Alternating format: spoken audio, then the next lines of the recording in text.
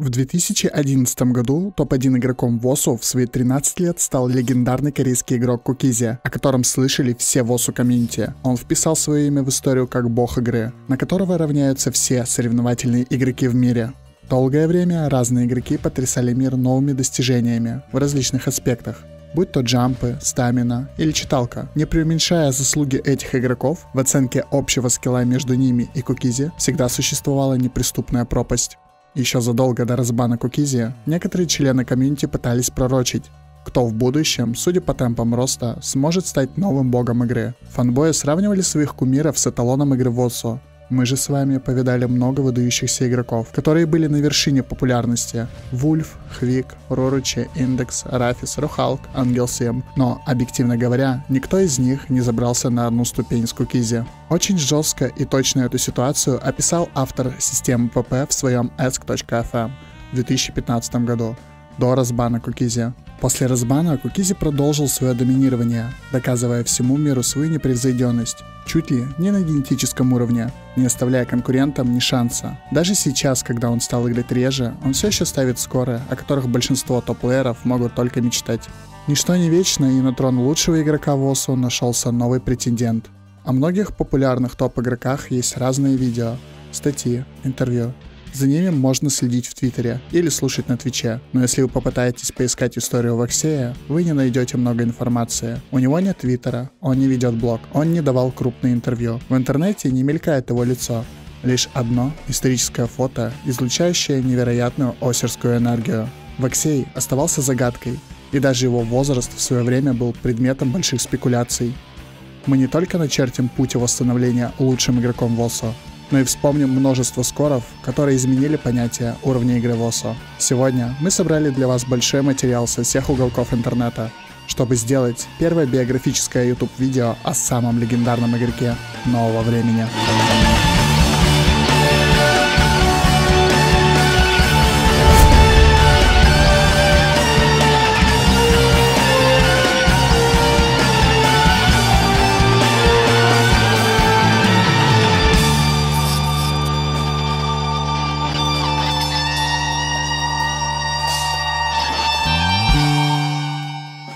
Ваксей зарегистрировался в ОСУ в 2014 году, придумав себе случайный никнейм. На тот момент ему было 10 лет. Заинтересовался игрой, когда увидел игру в ролике на ютубе. Тогда он и не подозревал, что станет профессиональным игроком.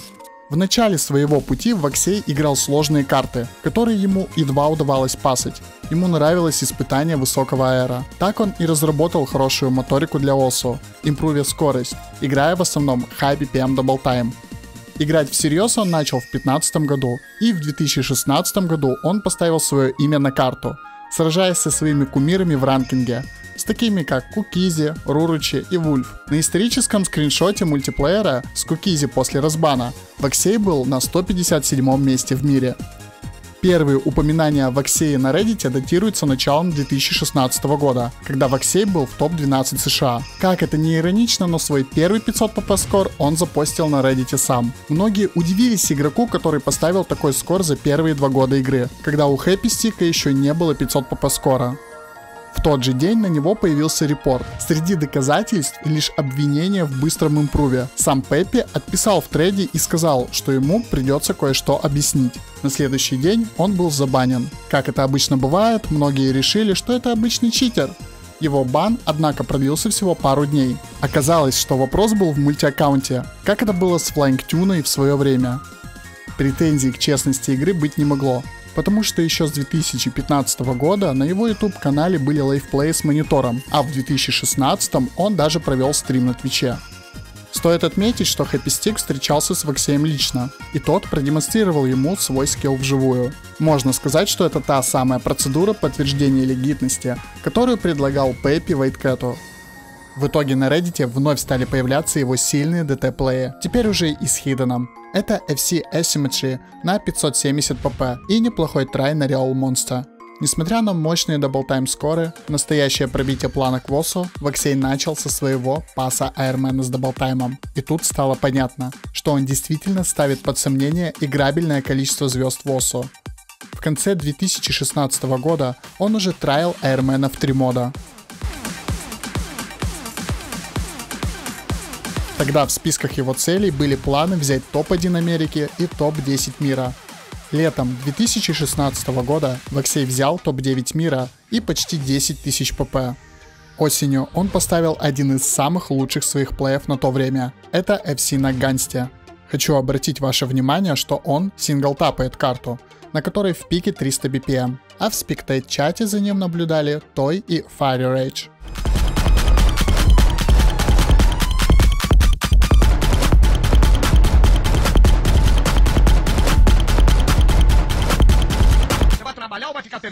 Вскоре в его user page е появилась новая единственная цель.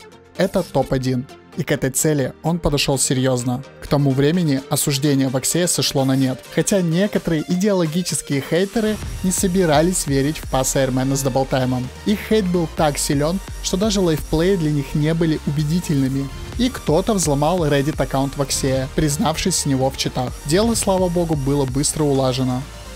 Под конец 2016 года он поставил свои первые 700 pp скоры на Шинксаку Ноше АВС и на Аозора Jumping Heart. 2016 год для Ваксея закончился большим количеством обидных чоуков. Несмотря на невероятную скорость, ему не хватало стабильности. Подсчет его ПП без чоуков на Reddit показал, что если бы он фыкашил все свои топ-скоры, он уже был бы в топ-1. В начале 2017 года Vaxei выложил попытку паса Биг Блэка с даблтаймом. Этого еще никто не осмеливался сделать.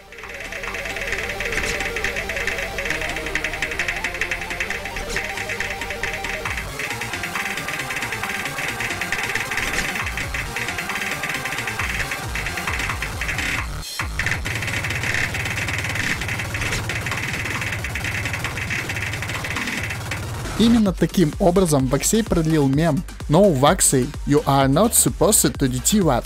Иронично, что в вне osu! Vaxei продолжил слушать этого исполнителя. Также Vaxei поставил еще несколько 700 pp скоров. Наиболее популярный из них это первый FC в double time е и hidden е на Kira Kira Days, где он просинглил 300 BPM джампы, и DT скор на High Free Spirits, а также порадовал комьюнити своим live play ем на Holding On.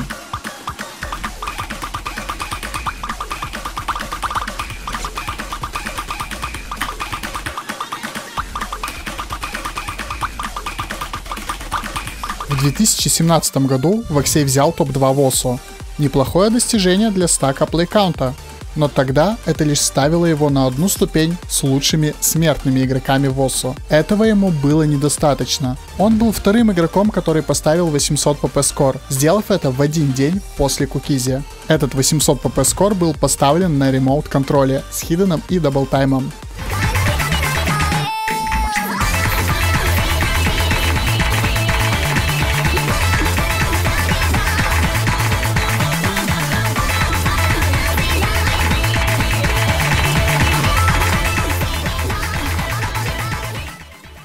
Все еще не хватало немножечко импрува. Тогда же Ваксей начал получать бейджики в турнирах, включая небольшой лан в США в 2017 году. В тот год, к сожалению, он не смог поучаствовать в ОВЦ по личным обстоятельствам, отдав победу Польше, и вообще взял перерыв от игры. Знаете, перерывы игры от Ваксея стали частью его идентичности, потому что каждый его камбэк символизировал невероятный импрув и новые скоры. В начале 2018 года все ждали его возвращения, и он не разочаровал. По словам Ваксея, в этом году он начал учить хардрок и hidden в дополнение к double time у, что оказалось непросто, потому что это был другой стиль игры для него. По его мнению, hidden усложняет low AR стримы, но упрощает AR 11 карты. Vaxei всегда был умен не по годам. Он не влезал в драмы, не говорил глупостей. В своем интервью 2018 года он сказал, что несмотря на свою цель взять топ-1 в osu!, он понимает, что топ-1 osu! не означает лучшего игрока по скиллу, а лишь по фарму ПП в мете. В том же интервью он пообещал однажды регулярно стримить и сказал, что хочет наконец-таки фкшнуть Big Black. Он часто менял область и хват, Экспериментируя с этим, он пытался найти комфортный и в то же время продуктивный вариант. На то время Ваксею не очень нравились техникал карты, до того как ему пришлось их часто играть в мультиплеере с топ игроками. Тогда он решил начать их играть чтобы не проигрывать на них и добавить их в свой скиллсет. Когда он научился играть Technical, такой вид карт ему реально понравился. Отдельного внимания заслуживает Rock Pass на карте Rustball.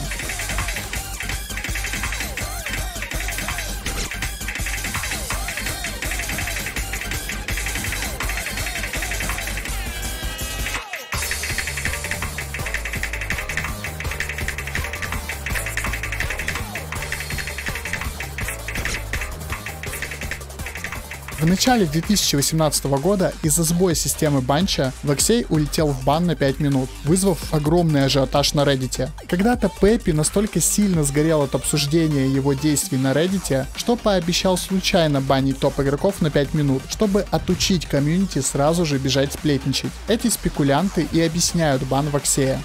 Vaxei продолжил доминирование на нетривиальных double time картах, выкашнув Сасагио на сумасшедшую курсе. После очередного перерыва и потери ранга он вернул себе топ-3 в марте. Потом он сделал довольно-таки сильный пас на Tool Assisted Speedco от Мисс Магиуса на 97 аккурасе с 11 миссами. Игра с хардроком тогда уже также не вызывала вопросов. Он смог закрыть на FC Dragon Force Seasons на 99 аккурасе. Также закрыл на ФК на то время популярную карту Bring the Madness. И ФКшнул с даблтаймом довольно-таки сложную карту Райджин но Мигиуда. Осенью 2018 года Ваксей снова уходит на перерыв от борьбы за топ и в конечном счете отдает топ-1 США Итке. Этот год также становится годом взлета Flying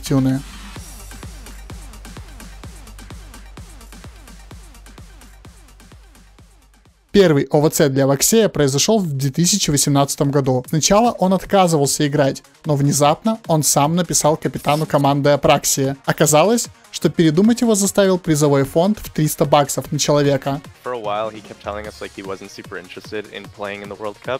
And then one day he messaged out of uh, Apraxia out of nowhere and was like, "Yeah, I'm gonna play ODC." And Apraxia, like, "Hell yeah!" And he's like, "What? what changed your mind?" And then he sent this he sent a screenshot of the prize for first place just saying $300. we were like, yep. $300, let's go! США победили в ОВЦ 2018 года, хоть соперник в виде Великобритании и был достаточно силен, и не сдавался до конца. По итогу Ваксей сделал свой вклад в команду. После всего этого он выиграл очередной лан. В этот год он выступал под никнеймом Donkey Kong. 2019 год Ваксей начал с первого в мире FC на Rainbow Dash. Этот скор он поставил в рамках инициативы Osu Bounty, в которой игрокам предлагали деньги за целевые скоры. Как мы уже знаем по ОВЦ, Ваксей был не против подзаработать на своем скилле, поэтому впоследствии он выполнил достаточно много баунтий. Весной 2019 года Ваксей поучаствовал в одном из крупных по призовому фонду турниров – Osu Game Tournament – где смог обыграть в гранд-финале очень сильного турнирного игрока Бабблмена, тем самым одержав победу и получив 1000 евро призовых. Но самое горячее действие ждало нас летом, когда никакая школа не мешала 16-летнему парню реализовывать себя в компьютерных играх. В июне он вновь начал ставить впечатляющие score ы. Свой врыв он начал со score а на endgame е, который он фкшнул с даблтаймом и хиденом на 99 accuracy, а также кучей других 900 pp score ов, включая новый STD рекорд на тот момент, а именно Lonely Go в 3 мода, который дал ему 972 pp.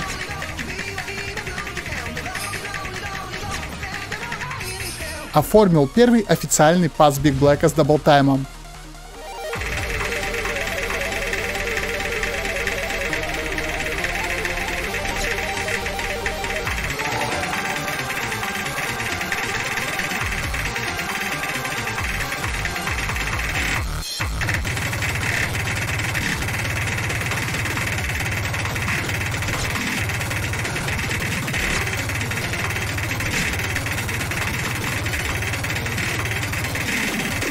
также поставил свой первый легендарный run на Cycle Hit е с double time ом, который дал ему 600 pp. Он добился своей мечты, оформив элитный score на Big Black е с модами Hidden и Perfect.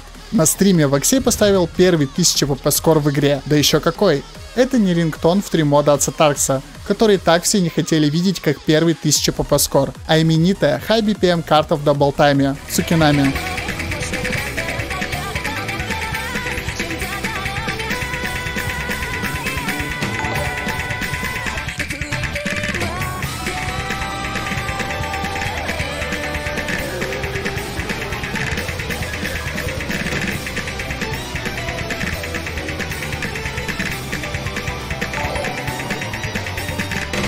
За три дня до этого события некий пользователь Reddit предложил 80 долларов за это достижение. Не уверен, что Ваксею это было необходимо, но деньги лишними не бывают. Также он взял первые 16 тысяч ПП и топ-1 мира. Его стрим был настолько историческим, что привлек целое множество осу знаменитостей. По слухам, там был даже Хвик. К этому топ-1 он шел 3 года. Все звезды сошлись в одной точке. Для нас с вами 1000 ПП скор это всего лишь очередной рубеж, который был побит через несколько месяцев первым 1100 ПП скором, а потом и 1200 ПП скором.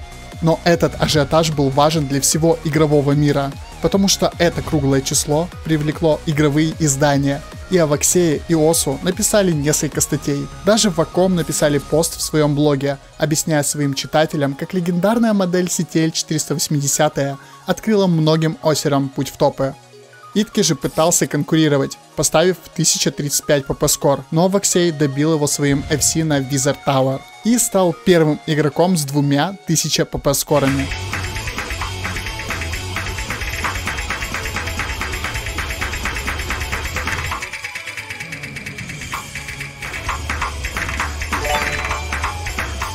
Он даже ставил под угрозу топ ПП скор в мании своим чоком на Эйфориуме. Очень точно Хэппи Стик сравнил этот стрим со стримом после разбана Кукизи. Впервые после четырех лет ожидания нашелся игрок, который смог превзойти своего учителя. Ваксей также удостоился внимания в крупном игровом СМИ PC Gamer и даже определения в Urban Dictionary. Таким мало кто может похвастаться. Отдельный тред на Reddit был создан для обсуждения реакции комьюнити на становление абсолютного бога Восо. Лето закончилось, и Ваксей пообещал уйти после турниров, но в ноябре произошел самый крупный турнир 1 на 1, который назывался Game Osu Tournament. Этот турнир проспонсировали Logitech, призовой фонд у которого был в 5000 евро.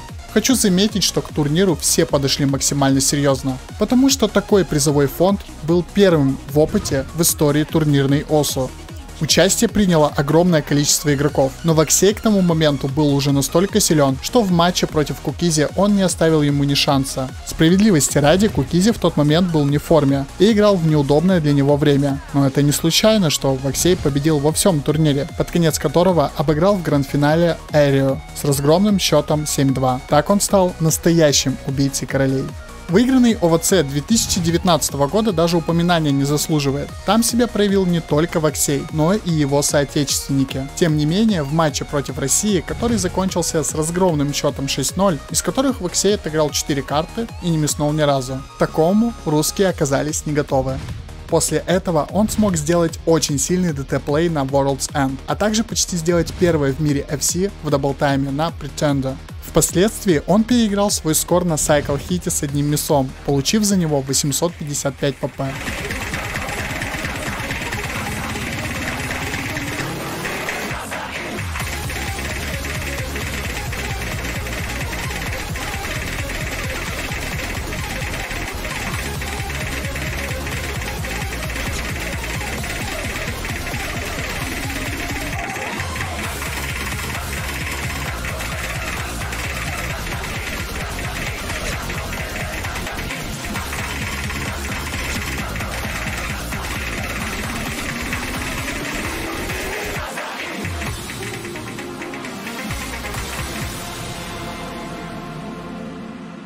Вместо привычного Vaxei ю double time а он стал чаще красоваться элитными no mod score ами. К примеру, Speed of Link, который он сыграл с одним мясом и 96 accuracy. До сих пор обвинения новых талантов в нечеловеческих score ах опровергаются. Ну, вы представьте себе, что три года назад вам бы кто-то сказал, что Cycle Hit вы FC шнут в double time е. Вы бы посмеялись и приняли бы это за шутку, а не за пророчество. Но Vaxei стал очередным доказательством того, что человечество не умеет адекватно определять границу своих физических возможностей. Тогда редиторы серьезно поставили вопрос, нужно ли Ваксею еще что-то сделать, чтобы быть признанным лучшим игроком в ОСО. Это было после получения первого в мире 17 тысяч ПП. Пробил он эту планку скором на Йоми Йори в 959 ПП. И этот скор стал топ-скором в ноумоде. В 2019 году Skill Осу в своем твиттере отдал Ваксею 4 из 5 лучших ДТ-скоров современности, отдав предпочтение скору Кукизи на Дайсуке. Последний из сильных скоров Ваксея на данный момент является FC-карты Diabolica. После Ваксей снова ушел в инактив в 2020 году и отдал первое место новому кумиру молодежи, Вэткэту, который сразил всех своими крутыми скорами и рекордно быстрым фармом. Видео о нем можете посмотреть на канале, там действительно хорошая история. Ваксей выложил в своем юзерпейдже картинку с надписью «Вот и все, друзья». В своем твиттере Скилл пояснил, что это означает очередной перерыв от игры. Пусть он и не держал топ-1 долго, но Ваксей навсегда себя вписал в историю Осу как убийца королей. Он – легенда, и он останется топ-1 в наших сердцах.